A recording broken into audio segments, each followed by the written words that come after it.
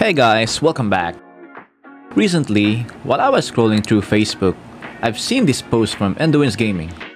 It says, Breaking Ragnarok Monster World, a Web3 strategy game will debut as its first traditional gaming IP on Ronin Network, set for release in the third quarter of this year. So first, I was really curious about the game and looked for it on the internet. I haven't found any gameplay but my only speculation is the game would be like Ragnarok Arena, an active turn-based game with a gacha system. Here you can have the characters and also the monsters from the Ragnarok verse. Ragnarok Arena was released in the first quarter of 2023 and gained a lot of negative feedbacks on their first month. The developers were not able to address the issues properly and many players easily dropped the game. As you can see, up until this video is recorded, it still has a low points in the Play Store, which I do really think the game would be re-released as an NFT, just like Ragnarok Labyrinth. But that was all just my speculations.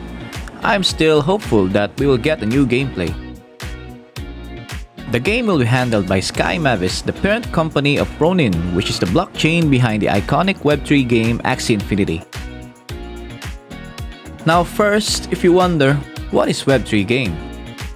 If you search for it on Google, it says, a new way to play the video game using blockchain. It lets you truly own in-game items like cool weapons or rare characters.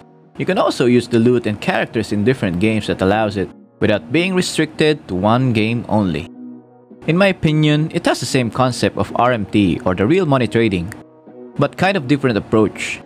Just like having a collection of Pokemon cards but here is virtual. In this case, monsters will be called Ragmon, and I assume there will be breeding system just like Axie.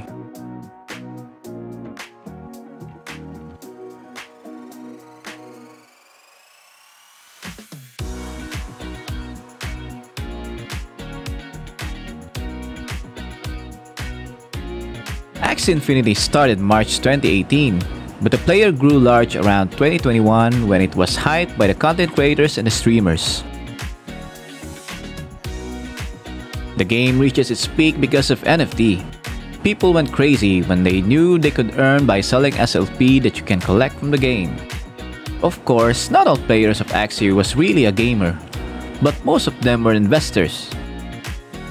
By the spring of 2022, the bottom had fallen out of the crypto market, making playing the game nearly worthless.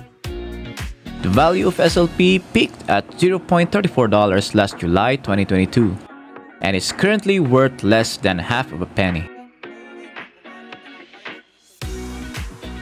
Now, in my opinion, this won't affect the release of the game Ragnarok Monster World.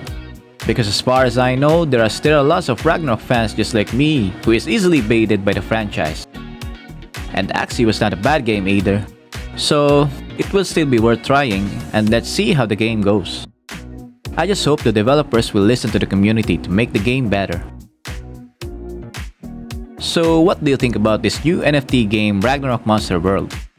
Are you gonna try to play and invest? Kindly comment down below. Also, please help me out by liking and subscribing to my channel. Until then, see you on the next one.